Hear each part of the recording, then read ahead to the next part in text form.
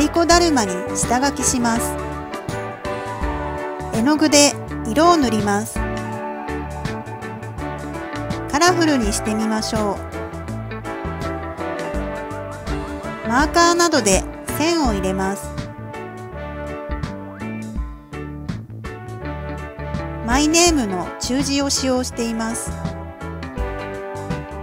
今回は粘土で立体感を出します。めちゃ伸び粘土に絵の具を混ぜます。よくこねましょ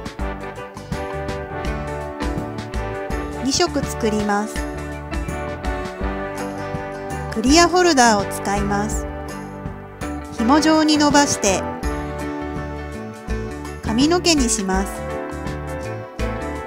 頭にくっつけます。ボリューム感を出して面白い作品にしましょう。交互に違う色をくっつけていきましょう。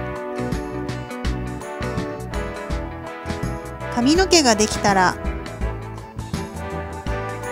耳を作ります。